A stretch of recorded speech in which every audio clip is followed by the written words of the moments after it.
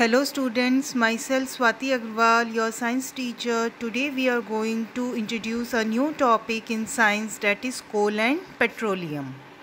Now students, let us start by explaining about the resources. Now the resources, in generally we see various materials around us for our basic needs. So these materials in which the human being uh, uses for its survival, for its welfare, these sources are known as the resources. Some of them, some of these resources are found in nature and some of have been made by the human efforts. So the natural resources, what are the natural resources? As you can guess, the natural that is occurring naturally. They are not being made by the humans. So the natural resources can be air, water, soil and the minerals. Now inside of the natural resources also some of the natural resources which can be used limitlessly. That means we can use a very not in a very limit manner. Uh, it is uh, developed in the light of the availability of these various resources in the nature. Natural resources can be broadly classified into two different kinds that is inexhaustible natural resources and the exhaustible natural resources. What are inexhaustible natural resources?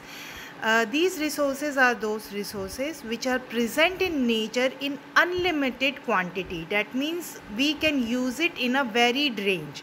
They are present in the nature where in a unlimited quantity and they are not likely to be exhausted by the human activity. What are they? For example the sunlight air. So these are the natural resources. Sunlight is the natural resource and air is also a natural resource. And they are present in the nature very in a unlimited quantity. They cannot be exhausted. So these are these natural resources are called the inexhaustible natural resources now what about the exhaustible natural resources? The sources, the amount of those sources which are present in nature in a very limit manner. That means it can be finished or it can be exhausted by the human activities. Examples of these resources are the forest, wildlife, our minerals, minerals like the coal, petroleum. These are the fossil fuels which are we are going to study further in this topic. That is the coal petroleum and the natural gas. So these are the exhaustible natural resources. They are present in the nature in a very limit manner. Now students let us study about the fossil fuels. What is basically the fossil fuel Fossil fuel is nothing, they are formed from the dead remains of the living organisms millions of years ago. Basically, fossil fuels are exhaustible resources, that means they are very limit in our nature. So that's why we have to use these fossil, view, uh, fossil fuels very precautionally so the three basic type of the fossil fuels which are we are going to study here that are the coal petroleum and the natural gas. Now students let us study about the coal. That is the exhaustible uh, natural resources that means which is present very limit in our nature Basically, coal is a fossil fuel which is from which is formed from the dead plant's matter over millions of years due to the heat and the pressure. Now let us discuss how the coal has been formed. Over millions of years, coal is formed through different biological and geological processes on the dead and the decaying plant matter. Coal mainly contains the carbon the process of conversion of dead vegetation into the coal. It is called the carbonization. That means whatever the process of conversion from dead vegetation or the dead remains of the living organisms into the coal. That process is known as the carbonization. Basically coal comes from a coal mine. Now where do we use the coal We used the coal as a fuel to cook the food. It is used in the various thermal power plants to produce the electricity. It is used as the fuel in the various industries and once in uh, past it was also used as a fuel to run the steam powered railway engines. Now the third thing is when the coal is processed it yields the three main product that is the coke, coal tar and the coal gas which is turn which in turn is used by the many industries.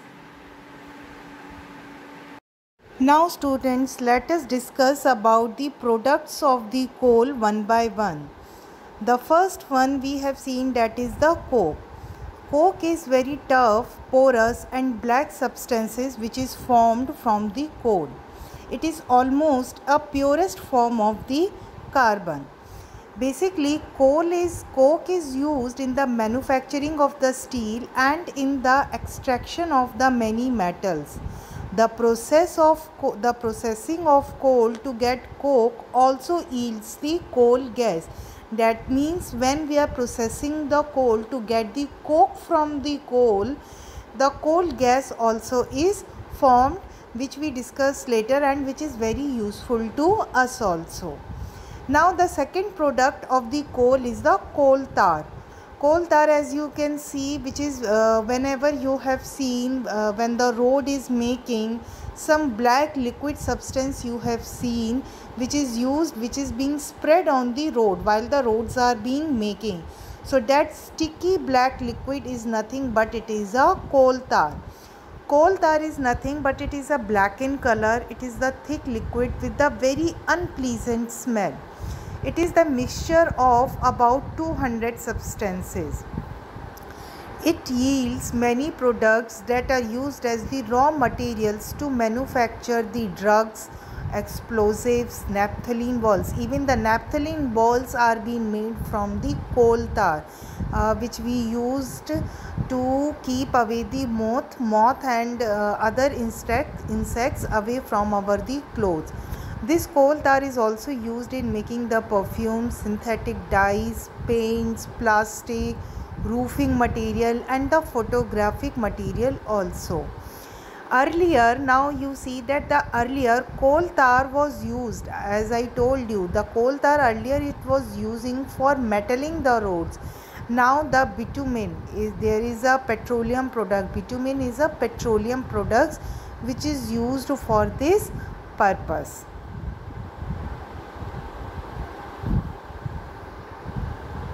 Now let us uh, discuss about the third product which we obtained from the coal. That is the coal gas. As I told you the coal gas we get it when the coal is processed to get the coke. While processing the coal to get the coke we got the coal gas. So it is a byproduct of processing of coal to get the coke. It is used in many industries as the fuel mainly it is used as the heat source not as a light source.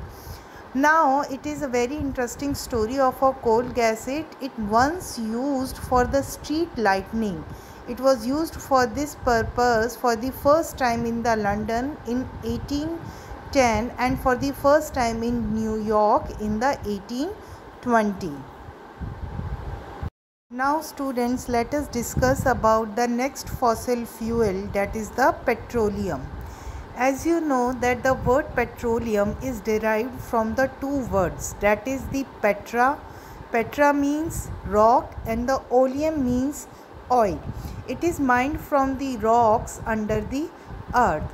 Petroleum which is also known as the crude oil crude oil that is a it is also a fossil fuel it is formed from the remains of the ancient marine organisms. When the sea organisms die, their bodies sink to the bottom of the sea. With the time passage, they get covered by the layers of the sand and the clay. And over the millions of years, these remains get transformed into the petroleum due to the high temperature, high pressure, and the absence of the air. Which get converted these the dead remains of the sea organisms into the oil. And after that by processing this petroleum is being drilled out from these seabed.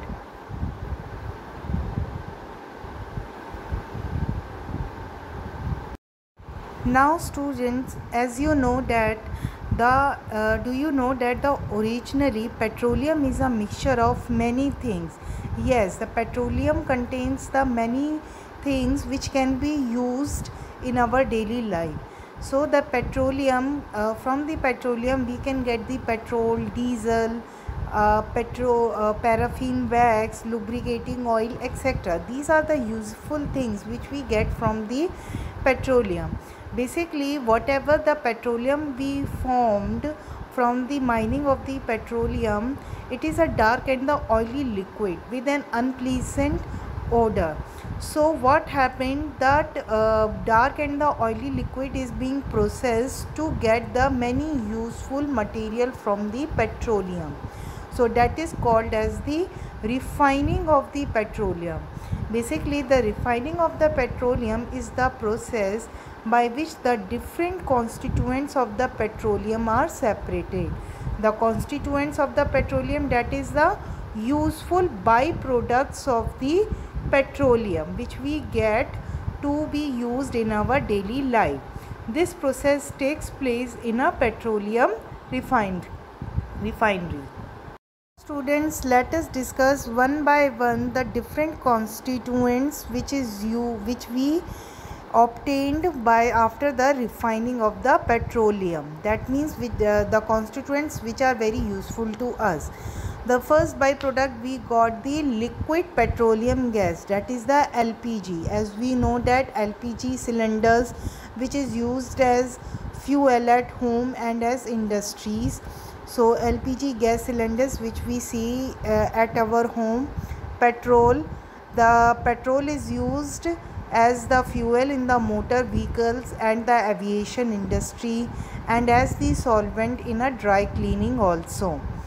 Kerosene. Kerosene is also used as the fuel. As you know that the in the stoves and the lamps we use the uh, kerosene and it is also used in the jet aircrafts.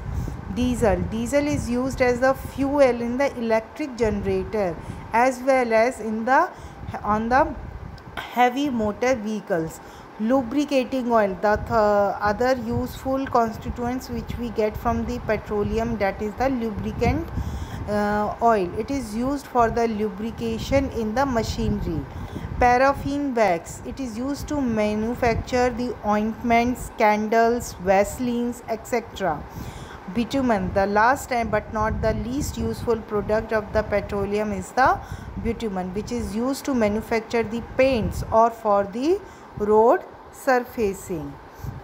As you know that the petroleum is also known as the black gold because it yields the several substances that are commercially successful. Because the petroleum is very useful from the petroleum we get the many constituents. That is why the petroleum is also known as the black gold.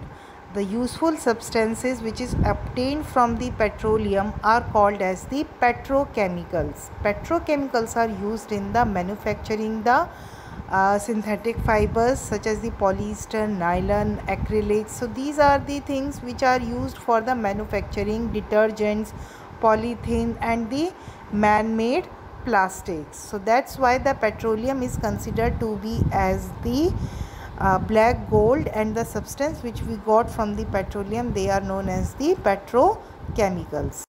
Now students let us learn about the natural gas natural gas is a very important fossil fuel because it is easy to transport through the pipes Natural gas is stored under the high pressure as compressed natural gas that is the CNG.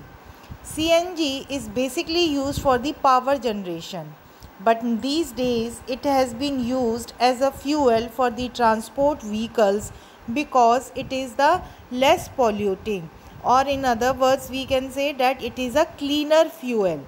The great advantage of CNG is that it can be used directly for burning in homes and factories where it can be supplied through the pipes.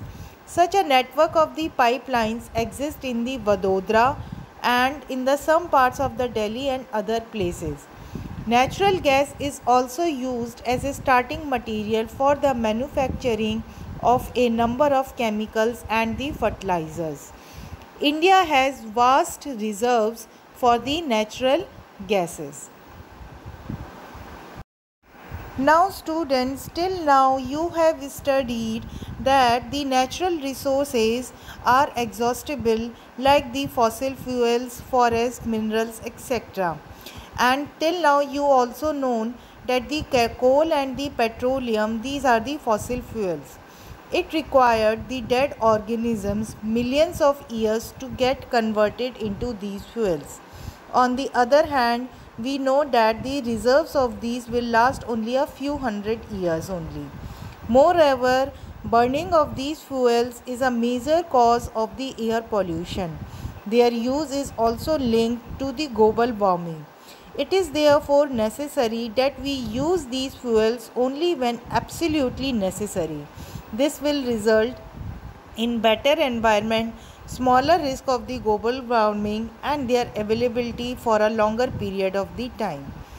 In India, the Petroleum Conservation Research Association advises the people how to save the petrol and diesel while driving. So these are as follows that you should drive at a constant speed and the moderate speed as far as possible. Switch off the engine at the traffic lights or at a place where you have to wait. Ensure the correct tire pressure. Last and not the least, that is the ensure the regular maintenance of the vehicle. So students, it's very necessary that we should use these fuels very wisely so that our environment didn't get harmed.